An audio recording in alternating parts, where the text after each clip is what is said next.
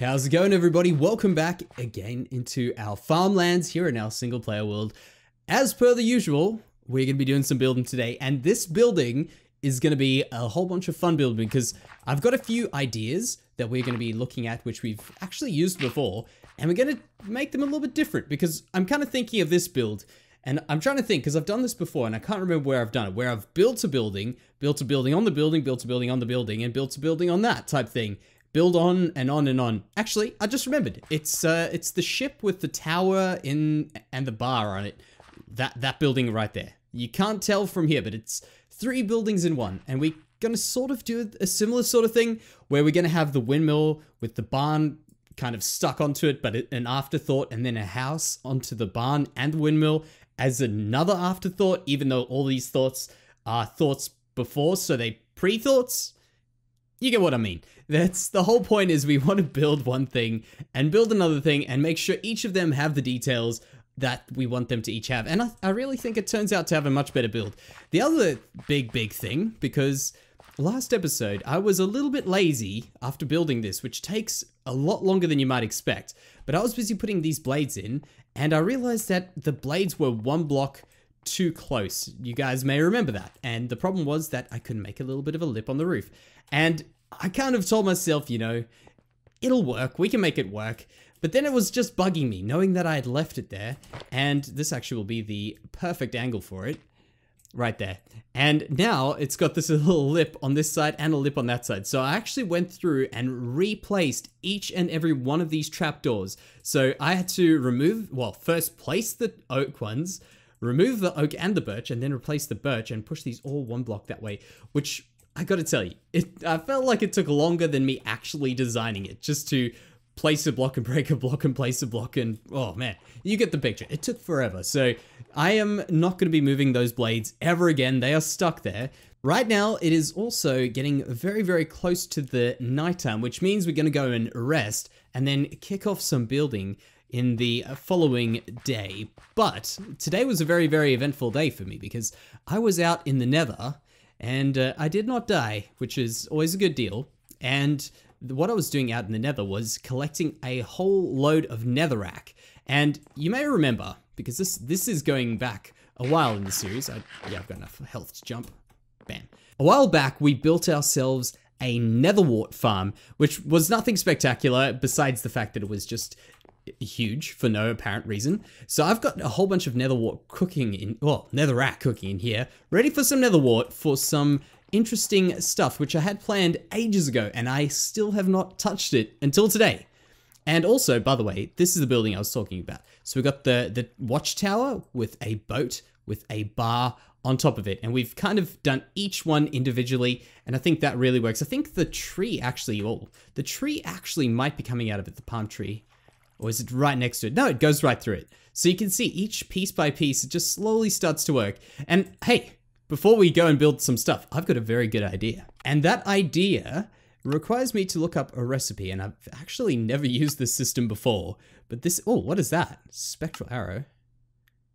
Okay, I, I got no idea what that is, but I need to find out more. Where is the campfire? Please tell me where it is, because I have not remembered how to make these things. Alright, so it was actually super easy, but in the end we are learning. I'm a little bit lost in the way of the new recipes, but sooner or later I'm going to know all of them like the back of my hand. But right there, this one is actually a very important one. Uh, there we got it right, which is a good thing. Now, I'm kind of upset because I do like this little design, but I do like the particles very, very, very, very, very, very much. So particles win. So, actually, I'm just curious what that looks like. I know the flames coming out would not look like a proper chimney, but I'm just curious what that actually looks like. Um, nothing too interesting. The particles are getting caught up there, which is pretty... Uh, it's pretty cool, I guess. I wouldn't have wanted them to do that, but that's alright. It's not a big deal. It's actually, as I say, a lot more interesting than other particles, so that is a neat little thing. So let's just put these around. And I'm not a big fan of the whole spruce trapdoor going around blocking it, but no other trapdoors block the whole thing. So we don't really have too much of a choice. How does that look? Yeah, that, that'll work. I think that'll work. And it just adds a little bit of life to this area. Do we have any more of these chimneys around? I don't think so. I think that's the only thing with it right now. So let's get ready to tackle our next little project, which is going to be this part over here, the barn itself. And as I say, I want to do the barn first and then we'll work our way on from the barn. And this is going to be winging it with some pre conceived ideas, I guess. So we're going to go around here and we'll put in halfway, maybe we do it one from halfway there, just to throw it off a little bit. And we're going to go one, two, three. That's three. I want to do seven. I think seven will be a good good number of blocks. One, two, three, four, five, six, seven. Yeah, that, that seems like it'll be right. And what we want to do is we want to put a little bit of a barn door in here. And actually, we could do it at the front here. Let me just see where it goes. I was kind of picturing it from the from that side to be able to be viewed. But yeah, so we'll, we'll put the barn door right in here. And then we will have it go up to about this height here and we'll push it back as far as we need to do. So I think what we do, let's just do an old design. We almost made that. An old design that is tested and it works and it works well. There it is. If that doesn't look very, oh, oops. Uh, sorry about that. Uh, if that doesn't look very familiar to you, you may notice it from the docks over there. And that was what I was talking about. Now, the cool thing about this is it looks pretty boring. Let's just get up here, which is easier said than done. We'll just get up here and you'll see that this is pretty boring. It doesn't have a cool little shape to it. And the way we're going to do that is we're going to use a few little sneaky tricks, you see. So if we, for instance, go with maybe some stairs there, can we get it there? And maybe a slab, or we could do stairs, we'll, we'll just do a slab for now. Slab there, see how it goes. There, there, and some stairs around here, like that, or like this. And maybe something on the edge. I think we ended up actually doing that on the last one. You see, it kind of gives this illusion that that is actually a proper curve to it. I think maybe the stairs actually were the right call here. Let's do that. Can we get it? And no, that's backwards. And the correct, no, still not the correct way, please. Jansey, you've done this how many times? How do you not know how to do that? So jump in over here yeah. So the way this looks right now isn't too interesting. I think I'll push that up one. But if we put the, well, it is interesting, but it isn't working too well. I've got to stop using that word. It's, it is interesting. It's just not using, working that well. If we put a stair up that way, a stair up that way, push that middle piece up, it'll have a nice little curve to it. And the next goal of this is to get a roof on it. And that's where those blocks that we've been waiting for. And I don't think I've actually placed any of them in this world out of memory, although I'm probably forgetting one. And those are the red nether brick blocks, which I've totally got to use. And I've been waiting to use them for ages. I just haven't yet actually just gone ahead and done them. And this is the time. This is when it starts to happen. I'm a little bit concerned though, and a little bit worried because we are going to be using the red nether brick for the first time on a farm, and I'm not too sure if the farm is really where it's going to suit it. I thought it was going to suit quite well for a main city to have another color roof. So for instance, you got the dark prismarine, even maybe some of the lighter prismarine.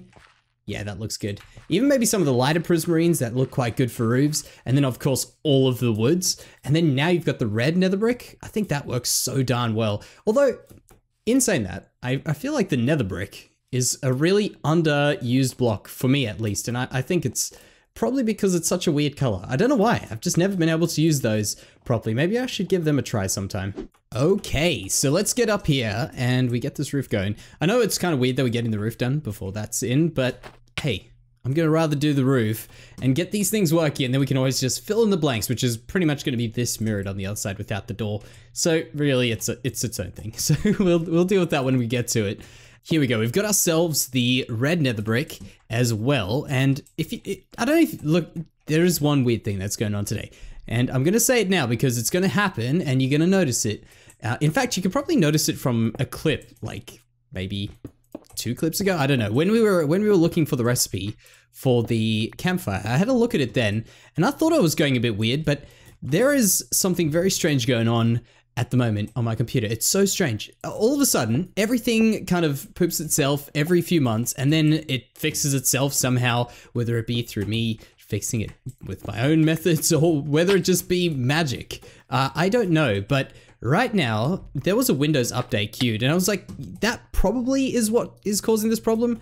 I restarted my computer, let the update go on, and the double clicking mouse problem's gone, but now I've got these weird movements with my mouse where all of a sudden it kind of just moves there and goes like that. It's very, very weird. So if that is the case, if you guys think it's maybe on your side going a bit weird, no, it's just me. And maybe, maybe it is just me. Maybe that's the, maybe the, the real one with the problem is just me. You know, maybe that's what's actually going on.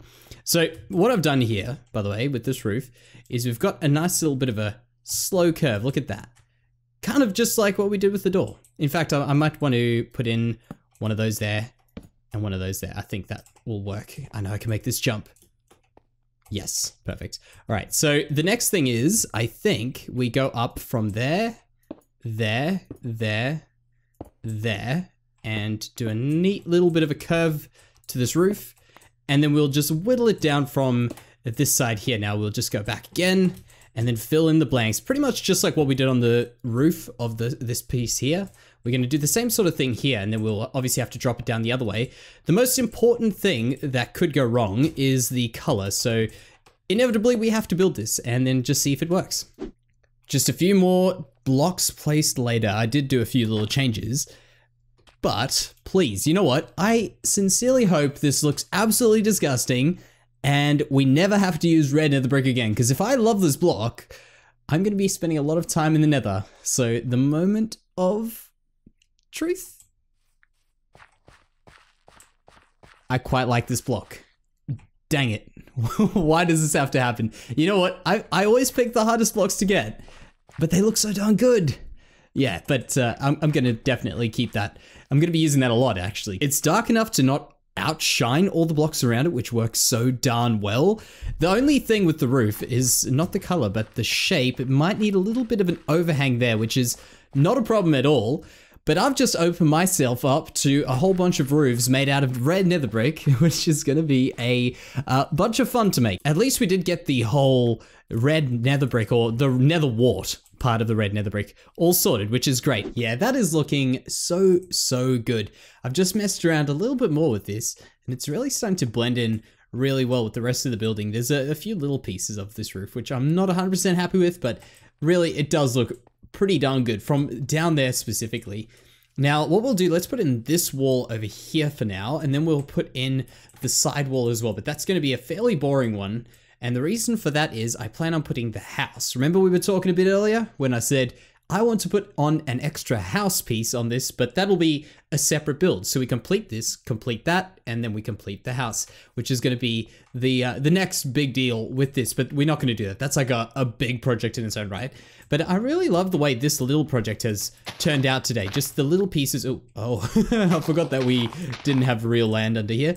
Uh, but all these little pieces, they've really just pulled together quite nicely for something that's quite a simple, well, rectangular box, really. That's all it is. A rectangular box with an interesting roof, and it's working out so, so well.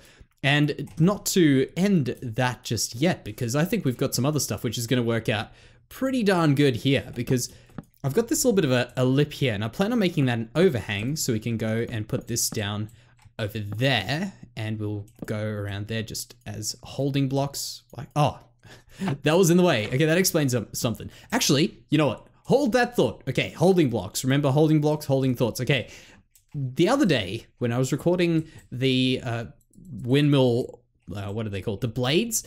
I noticed something. Look at this. Remember I was, I found myself on the floor. It's a new thing. It's like a new thing. So as soon as you open a trapdoor on top of you, you go into what I think, is that the swimming position? I don't know what that is. I'm not too sure, but it looks so silly. It's it's so dumb. Look at this. As soon as I go out of it, bam, back to it. I don't know if it's the flying position or the swimming position. I, I guess we could actually test that out with a uh, with a, a pair of elytra and a rocket. But I assume maybe it's the swimming one. For instance, when you spin through, swim through all those little uh, crevices and stuff. It's, it's just a funny thing. It's very, very odd. You caught me well off guard. Uh, and now back to the holding blocks, of course. So the holding blocks are here and right over, well, let me go around, right over there. And that's going to be just enough for us to get this on. And I thought this would look pretty darn cool for the side piece to have this little window in here to let a bit of light into the barn And of course, that also means we can get rid of this, but uh, that, that, as I say, the, the house itself will dictate where that goes. So now what we need to do is just fill in this around here and a very simple wall should hopefully be quite an interesting looking wall as well. So we do those there and I think we might have to put some oak pieces down the bottom, but we'll see what it looks like now. Um, okay, interesting. Yes. A little bit weird. Yes, of course. But we'll do that. Trim those. Looks a lot better. And then we'll just continue the oak down this way over here. And that should be good for a potential side entrance door to the barn or just a plain wall like this. So we just do a bit of cobblestone and put it all into here. Something that I've been absolutely loving about this world, and we haven't done this before until this world, and that is the fact that every time we build something, we tend to do the exterior stuff with it. And I think that's got to do a lot with my love for building these trees. I honestly thoroughly enjoy building trees. There's something, sometimes, you know, you just want to zone out, you listen to music, you're watching a YouTube video, you're just kind of building, which is maybe you right now watching the video, kind of weird, but you're kind of just building and building trees, something that you don't have to think too much. You've kind of got the, the rhythm of them. You just keep putting them up. It's really, really relaxing. I love doing that. But doing these little things has really helped bring the world together as we go through it. And I actually want to do a little bit of a, a well, fly out in spectator mode with a really high rend distance one day, just so we can see the area, because I think it would look really awesome to see this whole east coast of this place all built up. But these little pieces here, for instance, well, I can hear zombies somewhere, must be underground. Uh, but having all these little pieces getting worked in with the rest of the build, I really, really, no, it's definitely not underground. with all the pieces working themselves in, it just pulls the builds together from the start, which is what I really love. However, the reason I'm saying that is I've been thinking about it because I've got a little bit of a problem with gathering one particular resource, and that is what's holding me back from really completing these. So you can see over there, looks great. Over here, there's something missing and that is a whole bunch of grass. So I need to work out a good way to get a solid amount of bone meal sometime fairly soon because I would like to keep that whole the whole momentum of me building these things and keeping them looking good from the beginning uh, going pretty smoothly. So hopefully I can work out a good way of getting a good old mob farm or something going, but that is for another day to work on. Let's just see that. I think I think maybe the cobblestone is a little bit much. So if we go over here, and of course, I'm going to texture these down. It's not the final thing, but let's just do that. Maybe even one lower. And the reason for that is if we do it one lower, it means we can have a really, really neat set of stairs going up this way uh, into there from here. So it's just kind of thinking ahead for really pointless things. But think of it. We have some stairs walking up to there, a door in there. Yeah, that actually looks really good. In fact, the rare occasion where we have nighttime and the lights are looking pretty sweet. I like that. Wonderful. Now here is what I've been hoping for. Look at this as you walk through. Let's go all of that gone. Just walking through here, it just opens up so well. Look at that, just out the corner there. Man, I'm loving this. It's actually been one of my challenges I've had for about a year now, trying to get a bit more color into my builds, because I tended to build very, very plain because I really like the look of that. But I think the color is so much more of a challenge. If you get it to work, it just pops quite right. And I think this over here is popping quite right. I want to show you what I've done inside as well, because I think that's looking pretty good. It's ready for the interior, which I've thought about a little bit, which we're not going to do right now because interiors and me, we, we go back quite far and uh, I still wasn't doing them then, uh, but I will eventually get into them because I think this is one of the places that actually have a cool uh, interior that we could build. For instance, a little bit of a, a grinding place here for the um, ground down wheat and all that sort of stuff, which is something we'll inevitably do. But what this over here is, at least, is uh, an easy way for us to get a cool looking barn. I mean, we can stack a few hay stacks over there, a few hay bales over there, and just a, a, few little things over there. But the one thing that I've been looking forward to using, and I saw it from the moment I, well, from the moment I saw it, I knew I wanted to use it for this, and that is the grindstone, the actual grindstone in the game as of 1.14, the new update. Uh, that grindstone placed upside down looks like a pulley, and I've thought, wow, that looks great for factories, for barns, for anything, even docks. I mean, man, the docks are going to be transformed by that thing. Now, if only we could have like a working rope that could go through that, my the whole Minecraft life would be complete, but that is a bit too much for us to ask for. We don't even have working leads on a few uh, a few simple animals, so that that is quite a far away. But I would love that. I mean, even uh, you know, this is just me going crazy, but uh, like vertical half slabs everyone wants. I reckon horizontal fences. Now that's where it's at, but very far fetched. Just my thoughts. But hey, you know what? that's going to be my thoughts for today because I think we've had a fantastic day and we've got a few great angles which we can just have a look at this thing from, but a, a, fantastic episode, a fantastic build, and it's really set us up for that house, which I think is going to be probably two or three times the size of this at least. And a whole bunch more uh, detail on it as well, connected to this. And I think you can kind of tell where I'm going with this, and it's in it's going to be a very, very good place. So thank you so much for joining me today, and I will catch you in the next one.